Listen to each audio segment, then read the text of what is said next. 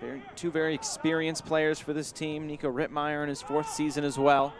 Kuzminsky in his fourth season. Yep. Comes Miami again. Mo Chow. Top of the box. Low driven shot deflects in. Miami back level. Five minutes to go. They've deserved it. Look at the excitement. Look at how they feel about it. They know they've been pushing and shoving for this, and it had to come eventually. The goalkeeper had kept it out until then, and Mike Anhaeuser's team had fought valiantly at the back, but in the end it's a deflected shot. But you had a look at Mo Chow. Good skill here early on. He just sets it up. Shot comes in, edge of the box, deflection, nothing that Kuzminsky could do. Have a look here. The ball gets pulled back. Granito hits a, gets a deflection.